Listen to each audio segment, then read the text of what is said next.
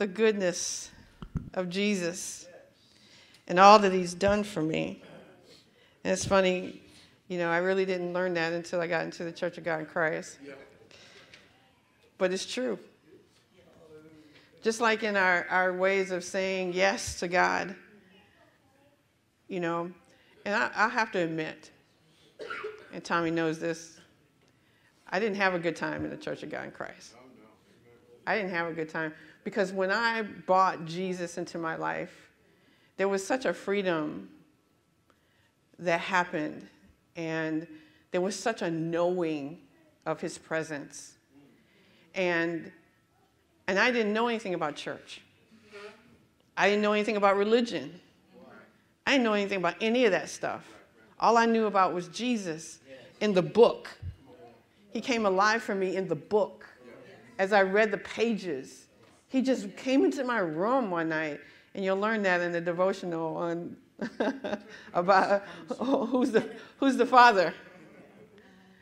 And I, I, tell you, we're going to talk a little bit about the devotionals tonight and building blocks of faith. The building blocks of faith. The building blocks. I know a lot of people don't think that you have to build that th- type of thing, but you do. You have to build this thing. You can't, you can't just come in and get saved one day and think everything is cool. It's not. It's a building, it's a working, it's a, it's a, it's a constant building upon line upon line, precept upon precept, building that thing up in your heart, building it up in your mind, building it up in your in your memories and in your heart so that when times hit, because they will hit, when times begin to get hard and things things aren't going the way we thought they should go, then we have something to pull from. Right. We have something to, to stand upon and know that I am safe in his arms. I'm not going anywhere. And, and, and we literally sang that song every Sunday. And I, I, you know, and everybody wasn't the same, but it just, it just seemed like it. It just seemed like everybody was the same.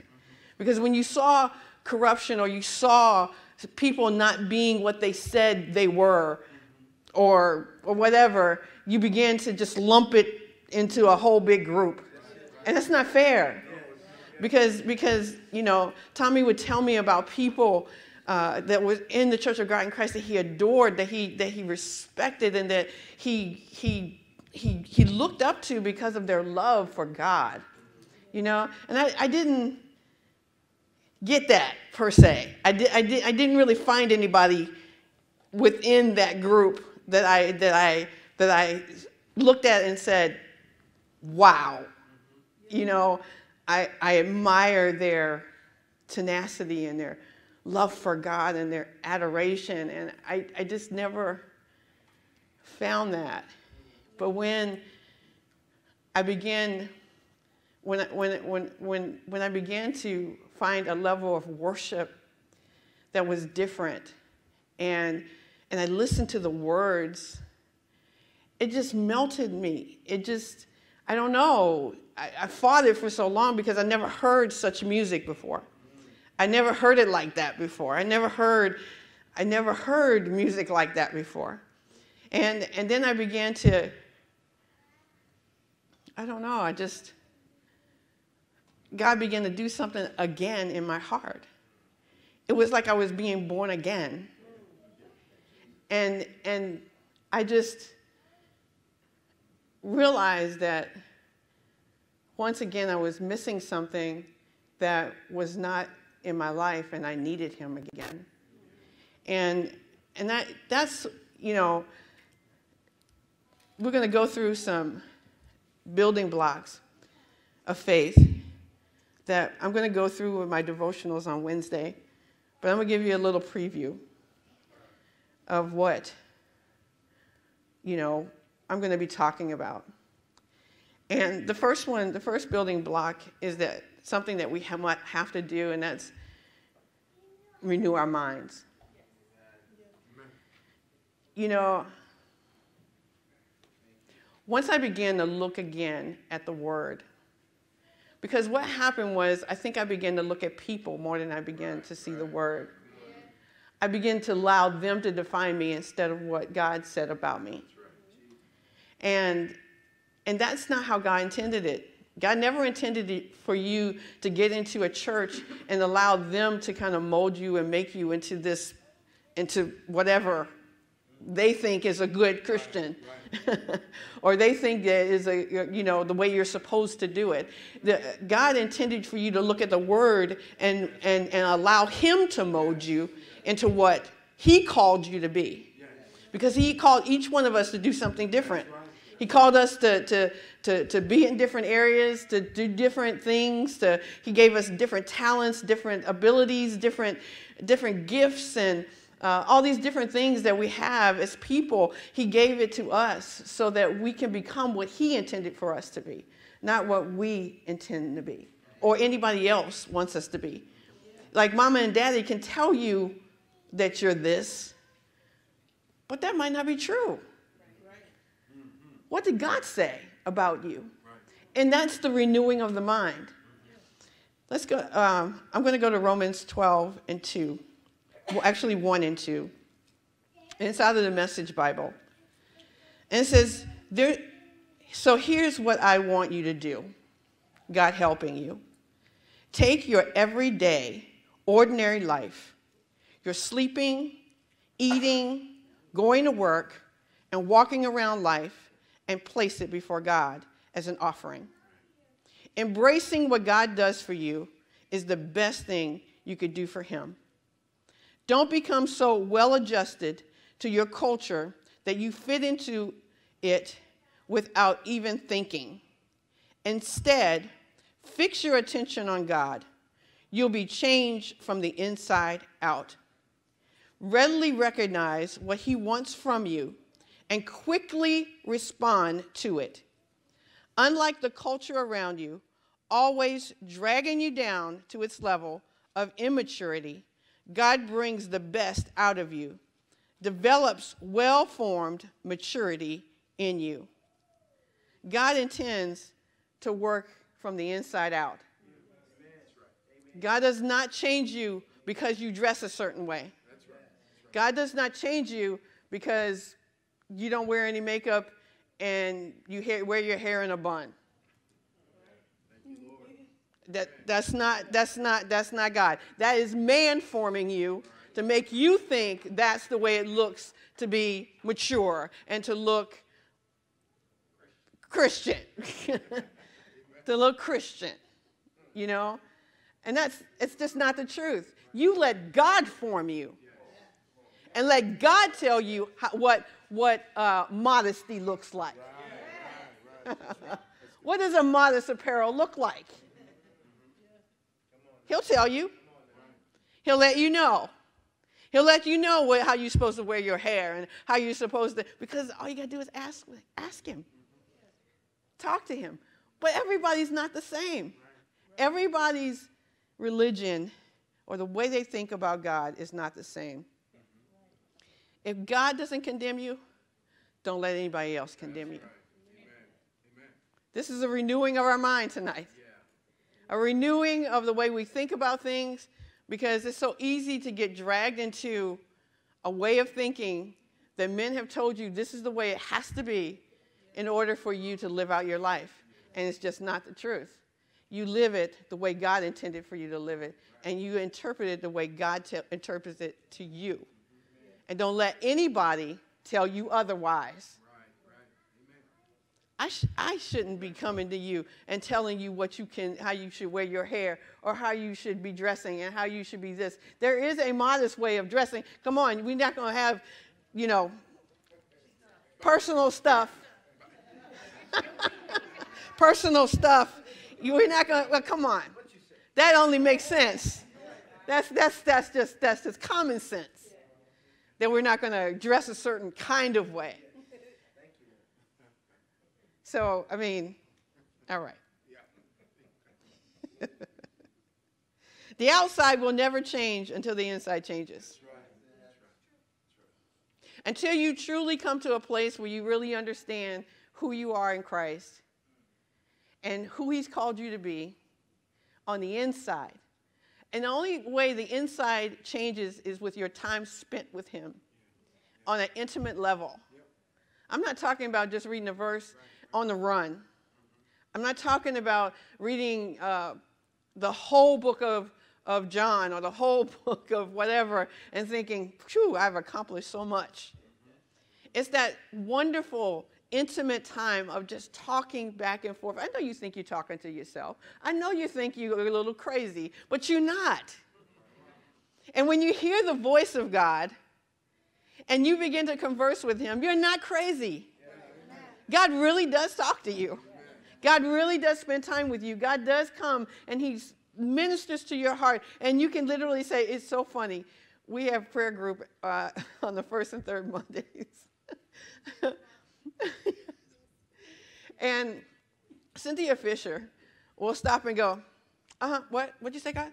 Okay, what'd you say? Okay, all right. Oh, okay. Well, this, okay, this is what he said. Blah, blah, blah, blah, blah, blah. And then we're like, all right. Praise the Lord. and, and, you know, and I, I love people that form that kind of relationship with God because they've taken time. They worked at this thing. This doesn't, this doesn't come just because you want it. This comes, it comes because you really take the time and the effort to, to, to get, get to the right place with God. Thank you. Am I modest? Okay. Not showing too much. and God,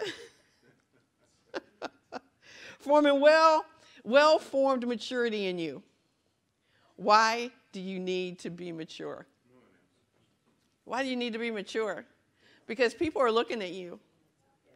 People are looking at your life, whether you think so or not. Your family's looking at your life. Your children are looking at your life. Your, the, your neighbors are looking at your life. Everybody's looking at your life. People in Walmart looking at your, at your life. Pastor Tommy, people at Walmart are looking at your life.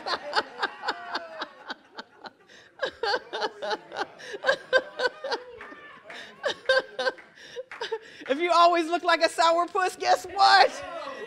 I don't. They don't want. They don't want. They don't want your guy. Come on. Who wants a guy like that? Hallelujah. If you look, if you if you if you are a short fuse, and you go off on somebody at Walmart or uh, a car to cut you off or whatever, come on, don't nobody want want that kind of God. They don't want the God that's on the inside of you. We are a light to the world. We are a representation of God. We are the salt of the earth. We are the ones that people look to for guidance and for direction, and they're looking for that maturity. But it takes time to become mature. It takes time. It takes effort. It takes it takes it takes time. I can't say uh, time enough because everybody wants to rush this thing. Everybody wants to wants to be mature tomorrow and they just got saved today. And they want to tell the world about Jesus, but they have not gone through what it takes to become really mature in this thing. And come on, if you go out there, you get beat up, you're going to get mature. you're going to get mature probably quicker than you intended to get mature because somebody's going to beat you up and, and, and throw you in the corner, throw you in the ditch, and say, See ya.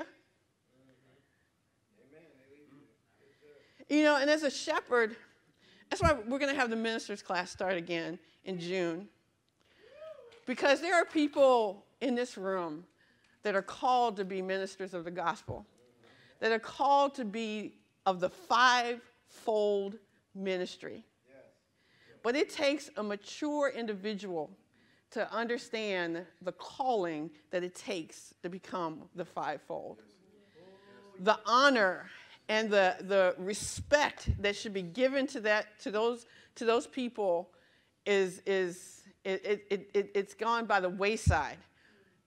And it breaks my heart every time I I see the church the way it is today because I know that God never intended for it to be that way. God never for intended for a pastor to be so disrespected and so cast in, in, uh, in the shadows instead of a person that is understood to be the shepherd and the, and the one that people look to for guidance and for direction and for uh, teach me how to be mature. Teach me how to how to do this thing. Teach me how to be successful. Teach me how to be this. That's what a pastor's called to do. And i realize that people have abused it but the news has made it just just just blew it up so much that every church now is just heresy and horrible and and, and every pastor is, is, is, is, is, is, is living a lie, and, and every congregant is a hypocrite. So it's not the truth, but the devil is a liar. It's just who he is, and that's what he does. And that's what he does to the world. He, he, he lies to the world, and, the, and they believe the lie. But we can't believe the lie. We can't believe the lie. If we are a part of a church and if we are part of something, then we have to respect the evangelist and respect the apostle and respect the ones that are called to ministry because it's hard work. Man, people don't care if they step on your heart and keep on walking. They don't care. They don't care. But we're called to be the mature ones, right? Yes. Who are you? That's the next building block. Who am I? Who am I in this world? Do you know how many people are searching every day to find out who they are in Christ? No, no, no, no, no, just who they are. Right. Just who they are. Matter of fact, once you know who you are in Christ, man, you got it. But even then, there are people within the church who are, who, who, who are supposed to know who they are in Christ, and they don't. But guess what? It's in the book. It's in the book. First, First Peter 2 and, 2 and 9. But you are a chosen generation. Isn't that cool? That, that, that even though I wasn't a Jew, I was chosen by God's hand. I was adopted into a family for eternity. For eternity. From the moment I gave my heart to Jesus, He took me in. But you know what? Even then, He knew me. Even before that, He knew me in the belly, before I was in the belly of my mother's womb. He knew me. He knew me. He knew you. He knew you. He knew you. That's a renewing of the mind. That's a renewing of the mind, understanding who you are in Jesus Christ, understanding that you have changed position, that you have changed. You have changed. If you have not changed, you need to examine that thing again. If you have not changed, if your heart hasn't changed, and you still as hard on people as you used to be when you were in the world, and if you still are struggling with, with fear and struggling with depression and struggling with stuff, you need to look at that thing again. You need to go back and you need to say, God, wash me again. Wash me in your presence. Wash me in your love. Wash me in the word so that I can become out who you want me to be and not who I am right now. Because with every building block, there is a change. With every building block, as you are renewing your mind by reading the word and constantly finding out who God is. When I was when I was 16 years old and I began to read the word, I knew my mind was being renewed as I read. I knew I was coming to know Jesus in a different way, in a different level, at a different, a, a different experience then probably, once I did join the church, probably different than most people I knew. Because I had an experience with him. Once you've had an experience with Jesus, there is nothing in this world that could change you. There's nothing that can make you go backwards. There's nothing that will make you sin or, or want to sin. You won't even want to sin because you've been in the presence of a king. You've been in the presence of royalty. And guess what? You are chosen. You were chosen to be a part of that family. Wow. You got to know who you are. You're a royal priesthood. You're a priesthood. God's called you into ministry. I know it may not look like fivefold. It may not look like a lot of things, but sometimes you're just called to, to help the homeless. Sometimes you're just called to, to be a part of a, a, a pantry and, and to, to give out food and to go shopping and do all those different types of things. Sometimes you're just called to go up to the hospital and sit with people and just minister to them and read them the Bible and just talk to them for a little while. And that's your ministry. Some people are called to ministry of prayer. Some people are called to so many different things but you're still a minister. Some people are minister to children. I knew, I knew that I knew when I came into the ministry that I was called to kids. I was called to the ministry of children. I knew that I, I loved it. I got giggly. I got excited every time I thought about being in the presence of the kids. I mean, my mind would just be clicking on different things I could do with them and different things I could do and go and, and, and, and, and teach them. I just got so excited. I knew I had the call of ministry for kids in my life. And that's what you need to do. That's what you need to do. Go back and say, God, who am I? Who am I? What am I called to do in this world? What priesthood am I called to do? You are a holy nation. Don't let anybody tell you you're not holy just because you're in a situation that may not look very holy. Doesn't make you stop being holy just because you're in a mess. Jesus died and shed his blood so you, you would be holy. Just get out of it. Don't stay in it. One thing I love about God and I prayed that a little bit this morning, but I, I love about him is that he, he, will, he will love me in spite of me. How cool is that? I mean, he doesn't go away from me. I go away from him because I feel condemnation. But he never makes me feel condemned. He always makes me feel welcome. He always makes me feel loved. He always makes me, if, if it's anything else, that's not God. That's not God. You need to reject it just as quick as it comes and say, I cast down all imaginations and every high thing that exalts itself against the knowledge of God, because the knowledge of God says that I am his child, that he loves me, that he is my father. Cast that stuff down. Right. Get rid of it just as quick as you can. Because I'm telling you, it will try to linger and it will try to define you. Don't be defined by negative things. Don't be defined by everything that's around you that's negative. You are defined by the Word of God. You are defined about what God has said about you. Amen? Amen? You are His own special people. Oh, I love God. Every time I read this, I get empowered. Every time I read this, I know that I am in his control and that I am not in the enemy's control. Amen. And then no matter what he tries to do against me, I begin to recognize who I am. Yes. And that you may proclaim the praises of him who called you out of darkness into his marvelous light. You thought that you were here to grow up, get a job, buy a house, get old, and die. Okay, get married, have some kids, you know, add a few little things, natural things to this. And somewhere in there, we put God in there. In that, in that, in that, in that vision, in that, in that quest, in that journey and little times, you know when you put them in there? When you were going through something. And when it was hard. But while it was good, where was God? That is not what God intended for us.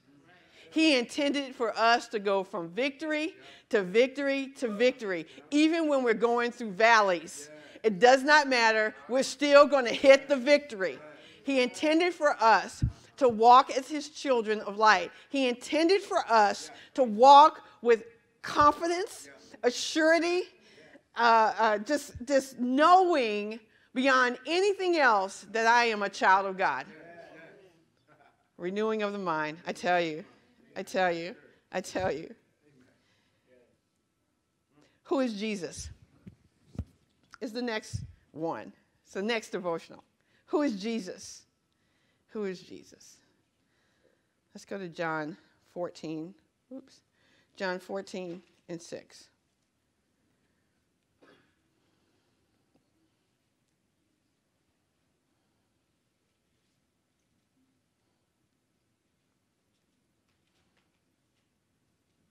It says, Jesus said to him, I am the way, the truth, and the life. No one comes to the Father except through me. We got to know as we grow in our faith and we're building on our faith who Jesus is in our faith. Do you know how many religions say that Jesus is not the Son of God?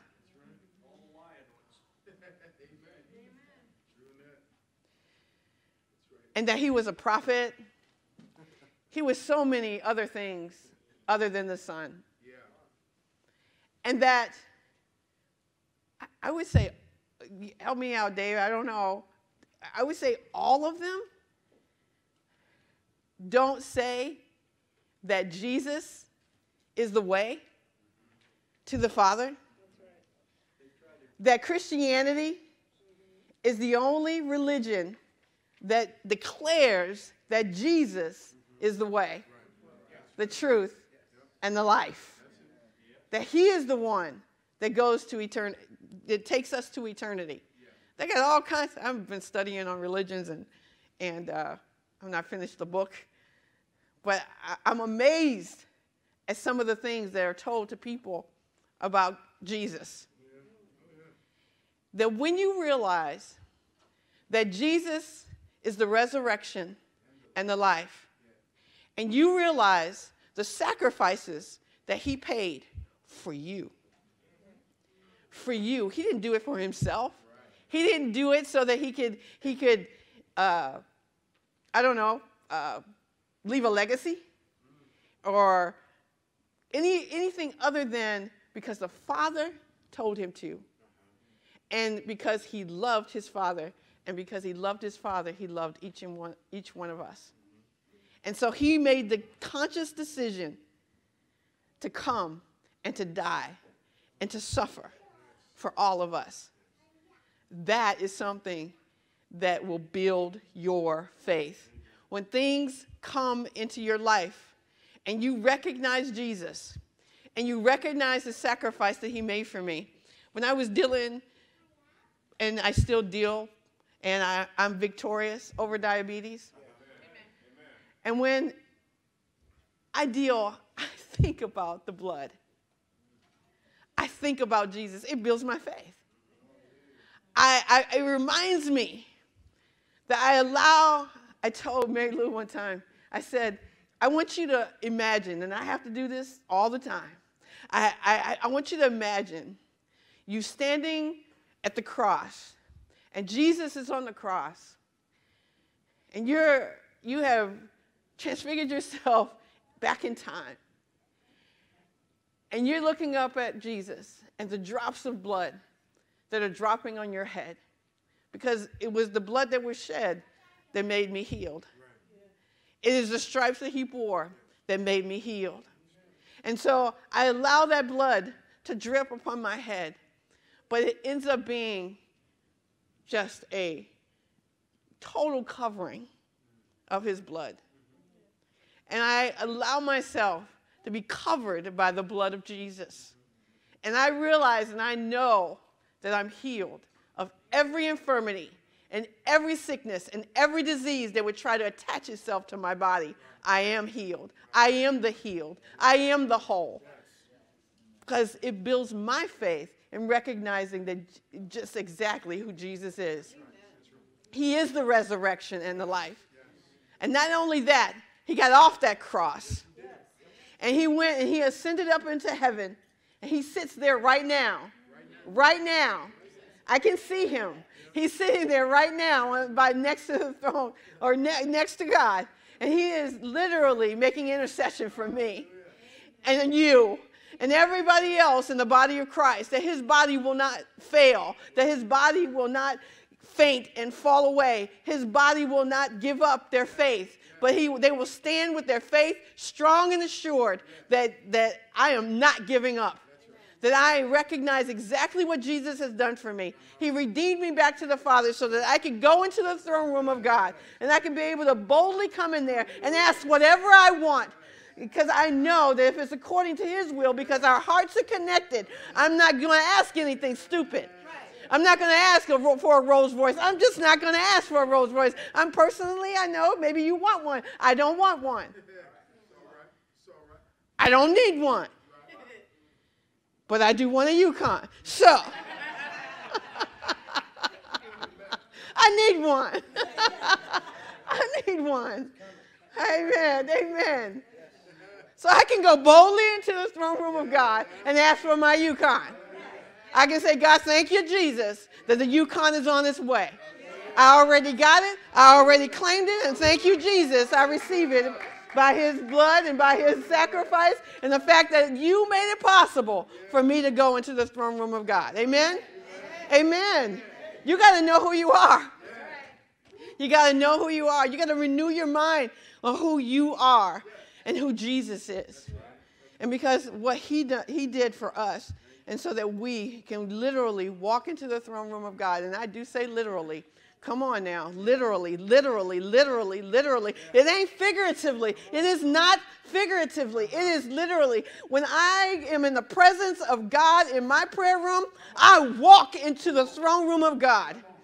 I don't go, I don't go timidly and I don't go, oh, I don't know what to do. No, I am his child. And I can walk into the throne room of God. And I can ask for what I want. I can sit at his feet and talk to him for a little while. I can do whatever I want to do in the throne room because it's my daddy's house. Amen? Amen. Amen. Who is the Father? Is the next building block. Who is the Father? So you know y'all gonna have to tune in on Wednesdays. if you're not getting the, the, um, the devotionals right now, you need to find out how to get it and give, make sure you get us your email so that we can send you the devotionals. Who is the Father? Let's go to Exodus 3 and 14. this is good. I like this one. Exodus 3:14.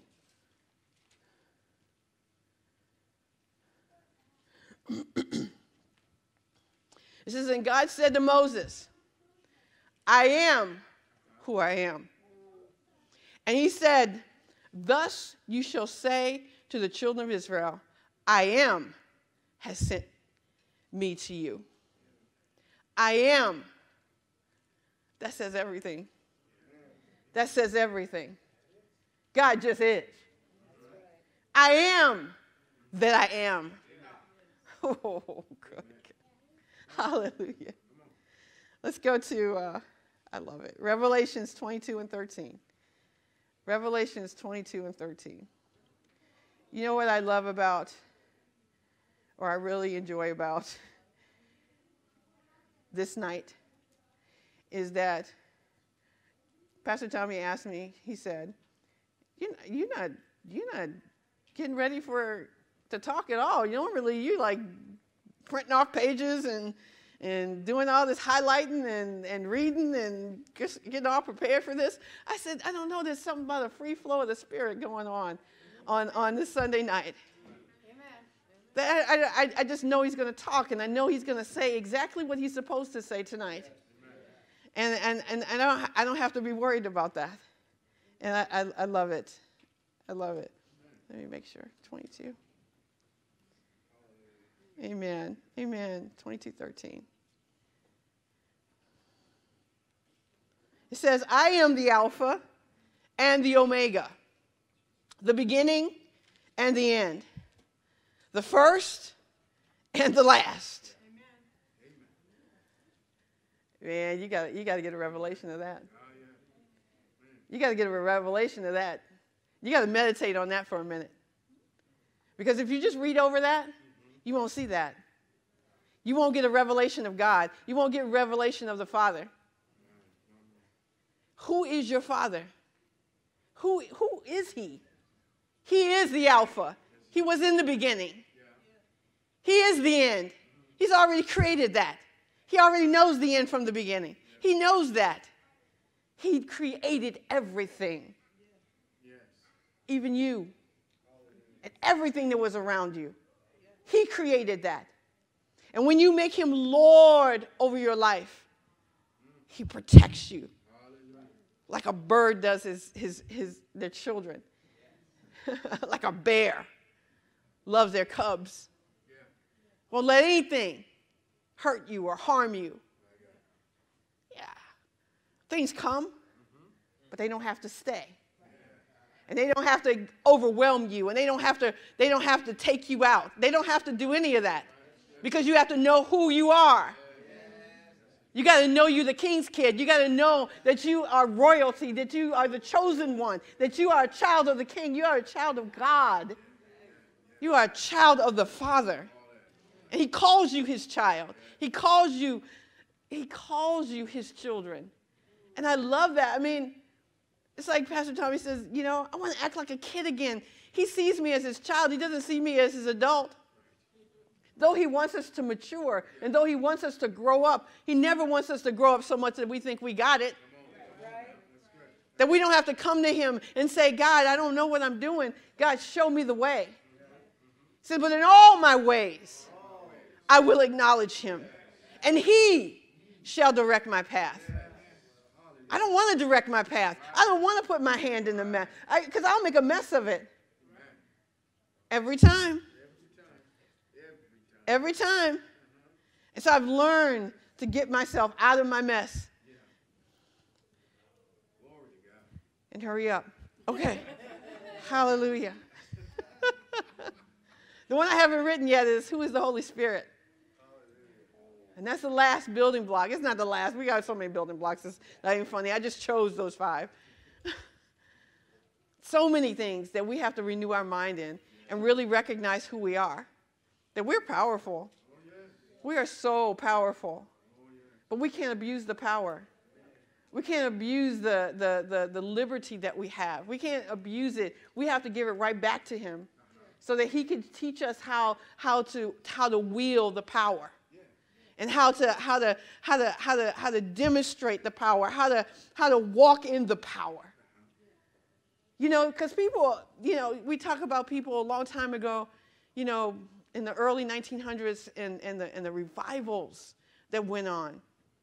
And I looked at their life, you know, that's something in the minister's class you were required to read, is God's generals. And, and, and I look at their life and the sacrifices that they made. And I look at the power that was wielded from their hands. I'm just like, wow. I, I thought about that like that with Jesus. That Jesus, I look at the power that this man of God willed in the earth and he how he how he he just he did such signs and wonders and miracles. I mean, just with a word, just with a touch, just with a thought. He did it. He just he just did it. And I was in awe of him. And you know another thing about the about the Holy Spirit is that you realize that he didn't start that until he received the Holy Spirit? What makes the church think that they could do anything without the Holy Spirit? You can't do anything without the Holy Spirit. I'm talking about being baptized. He went and got baptized, immersed in the power. He wasn't, he didn't want a, a, a a little, little, little dab will do you. He went, he got immersed in the water. He got immersed in the presence of God. And he knew the call that he had in his life. From a little boy, he knew. And then when he began to walk in that thing, but he knew he needed the power, he needed the Holy Spirit in his life.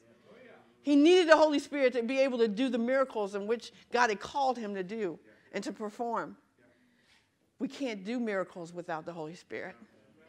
We can't do signs and wonders without the Holy Spirit. Great things are not going to happen in your life without the Holy Spirit. So if you don't have the Holy Spirit tonight, you need to seek Him like you never have before and say, God, I want more of you. I want the Holy Spirit. Let's go to John 14 and 26. John 14.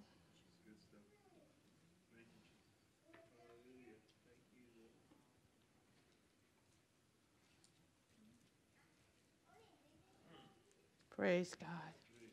Praise God. Praise God. It says, But the Helper, the Holy Spirit, whom the Father will send in my name, he will teach you all things and bring to your remembrance all things that I said to you. He is our helper, He is our comforter, He is our guide. He teaches us everything that we need to know in order to be successful.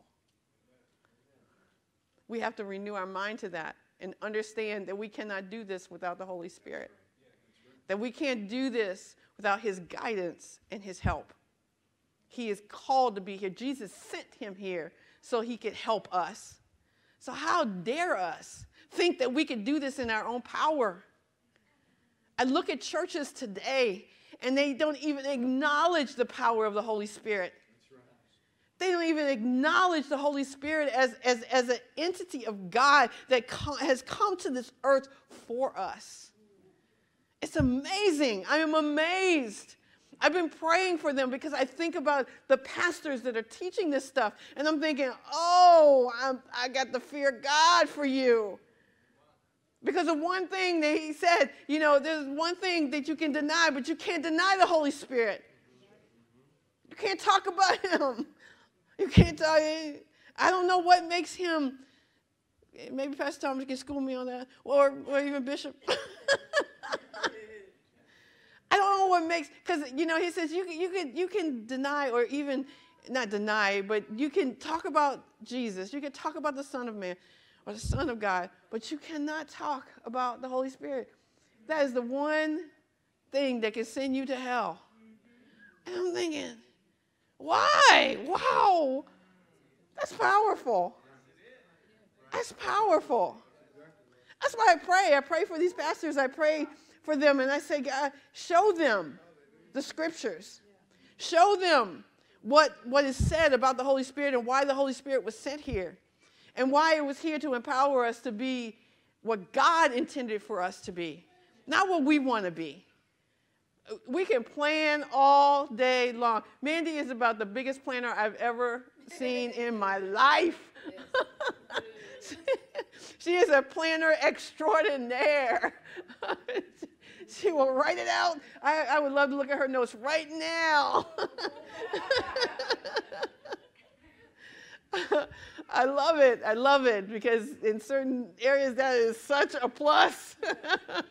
it's such a, a good thing to have. But God doesn't want you to plan your life like that. He wants you to be totally open to Him and not yourself. He wants you to hear his voice. He wants you to spend time with him. He wants you to draw near. And the Holy Spirit's going to speak to you and he's going to reveal to you and he's going to talk to you and he's going to tell you things that are to come. He's going to tell you about what God wants. He's going to tell you about what you should be doing. He's going to be telling you and talking to you. And I'm telling you, if you're a part of this church and God's telling you that, that I am called to this, I am called to this, you need to be letting your pastors know that you are called to this. I am called to this because we want to we want to equip you for the calling. Because let me tell you, I know you know there are wolves out there that will eat your lunch. They will eat you. They don't care nothing about you. All the knowledge you know and all the Jesus you know. So what? They don't care. And they've got other knowledge and, and other things that they can throw at you and, and, and, and make you feel this small when you go out there and try to talk about Jesus. But you're here to be equipped for the battle, equipped to, to go out there and talk about Jesus, equipped to be able to do what you're called to do, equipped to be a pastor, equipped to be a, an evangelist, a teacher. You're called to be something. You know, maybe not the five, fivefold ministry, but you're called to be something. God has put it on the inside of you. He's put it on this. And when these questions are answered, life is more secure and stable. when you know about the renewing of your mind and you know who I am, who you are in Christ, or who you are, and then who you are in Christ Jesus. And you know who Jesus is. You know who the Father is. You know who the Holy Spirit is. And I'm telling you, unless you study these things and really study them out, you'll always keep floundering. You'll always keep struggling. But when you know that you know that you know that you know, and nobody can deter you and nobody can change you, nobody can turn you around, you got it. Amen. You got it. And I'm telling you, your faith will not be deterred. Your faith will not, nobody can tell you any differently. And so, but it takes study of the word. It takes study, it takes preparing, it takes, it takes equipping of your heart, equipping of your, of your spirit, equipping, equipping, equipping yourself. And that's, that's study, that's study, that's study, that's study, that's spending time with God. It's crying sometimes, it's laughing, it's jumping up and down, it's acting foolish when other people think you're crazy. That's all right. I know a lot of people think I'm crazy, but that's all right. That's all right. It's okay to be crazy because you know what? We're peculiar. We're peculiar people called by God. Amen? Building blocks, one step at a time. One step at a time. Start today. Start today. If you started last year, if you started three years ago, keep doing it. Keep doing it. Keep doing it. You never stop building. You never stop growing because you know what? Life. Life just happens. Life, life drains you. Life takes out a little bit of this and a little bit of that. And, and, and sometimes you have to put it back in, put it back in, put it back in, put it back in. Sometimes you have to remind yourself over again who Jesus is. Sometimes you have to remind yourself over and over who, who the Father is. Who the who, well, Holy Spirit, Holy Spirit. Okay, yeah, yeah, yeah, Holy Spirit. Sometimes you have to remind yourself over and over again. Building blocks. You got to keep building the blocks. And what are you doing? You're laying a foundation. You're laying the foundation and you're building a house. Who talks about building the house? Isn't that, isn't that uh, John Bevere? Which series is that? Uh, driven, by driven by Eternity. Building a custom built house. Building a custom made home. and that's what God wants to do through you. He's building a custom made just for His glory. Just for His glory. Not for you. Not for you. You're going to get the benefits. You're going to get the benefits. They're good benefits too. It's like you're healed. Yeah. Uh, you're, you're, you're, you're, you're redeemed. Uh, uh, yeah, you're just all kinds of things. You're prosperous. I, I mean, the list goes on and on of the, of the benefits that come by just saying, it's not my will that, that's being done, but your will, Father. It's not my way, it's your way. It's not mine. I have to say it every day, guys. Every day. Every day because it's not coming fast enough for me. oh, Jesus. not coming fast enough, but you know what? Every day I stand on the firm foundation of God's word. I stand firmly upon what He has taught me of who I am, who Jesus is. I'm renewing my mind every day, every day. Every day, I'm renewing my mind. I get in the presence of God. I go into his throne room and I say, God, here I am again. He says, Welcome, daughter. Come on in. Come on in. Sit, sit down. Sit on down. And I sit at his feet and I just bask in his presence and I bask in his love. And I just say, God, talk to me for a little while. Help me out because I'm feeling overwhelmed with all of this. And he just says, Okay, I can handle it. Maybe you can't but I can handle it. But you got to give it to me. You got to let me hold you. You got to let me guide you. Because if you don't, you're going to keep being frustrated and you're going to want to quit. And you're going to quit. And, and I can't afford for you to do that. Last story, I remember the day when my daughter went home, and it was one of the days in that, in that year. She went home on uh, leap year in 2004 on February 29th on leap on the day leap leap day. yeah, okay. And uh, and I, I, I we had this walk-in closet, and I would go into the walk-in closet, I think just about every day, and I would sit under the clothes, because to me that was like the covering of God. And I would sit under the clothes, and I would ask Him why, every day for about a year. For about a year, I cried every day in that closet, and He let me. He said, "Come on in, daughter. Come on in." And he would let me sit there and he'd let me complain and he'd let me with all my questions and all my just issues about, about the whole thing. And he just, but he ministered to me. Every time I would go in that throne room, he would minister to me. And he would, he would love me and he would hold me and he would comfort me. And he would just, wow.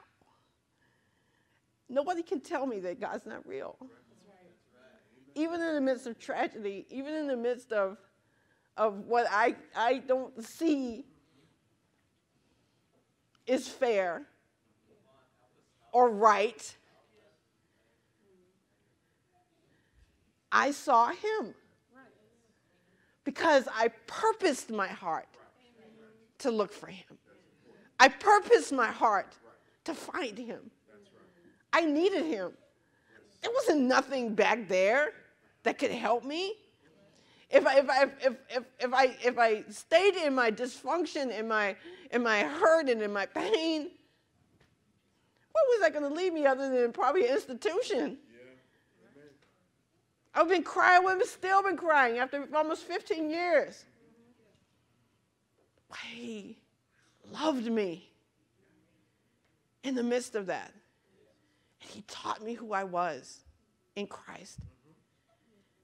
And after a year, he said, That's enough, daughter. I went in the closet thinking it was going to be okay.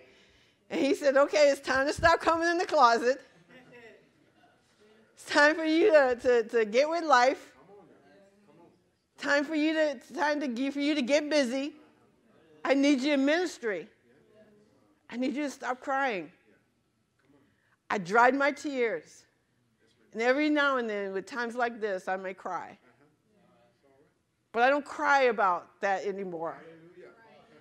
Because he reassured me even the day of where she was.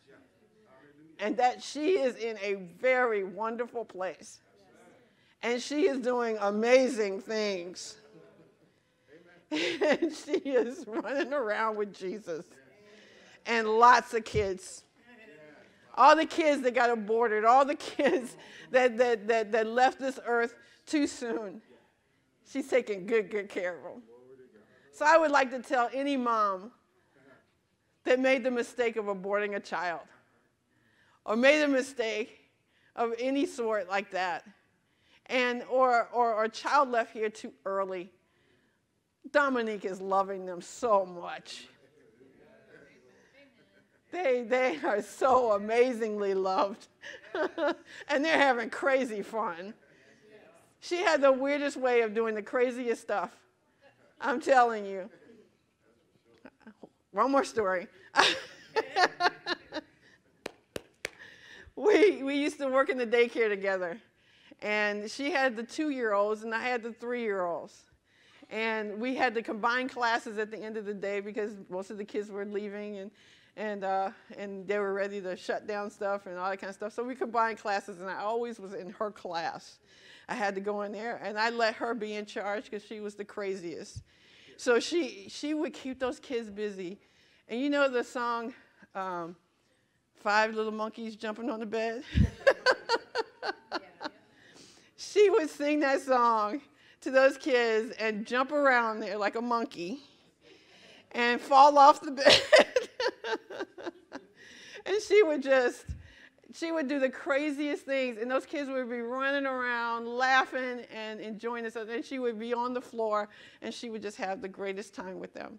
And I see her doing that in heaven. She had such a love for kids. And I say that story because I want you to know that even in the midst of your sorrow, even in the midst of your, I don't understand why that happened. I don't understand everything that God does or why, but I trust Him with everything. And it is a part of my life that I have to go through, but I get to testify about it all the time. And I encourage other moms and I encourage other people that have, that have had children that have gone on to heaven. And I get a chance to say, it's going to be all right. If you hold on to his hand and maybe go in the closet under the clothes, you're going to be all right. Just let him comfort you and let him. Don't run the opposite direction, run straight toward Jesus. Don't you go any other way, but you go straight to him because he has all the answers. He does indeed have all the answers. And even if his answer is, you got to trust me. He's going to, it's going to be all right because he's going to give you a peace that passes all understanding. And you won't understand why you have peace in the midst of the crazy turmoil of life, but you're going to have peace. Amen? Amen. Amen.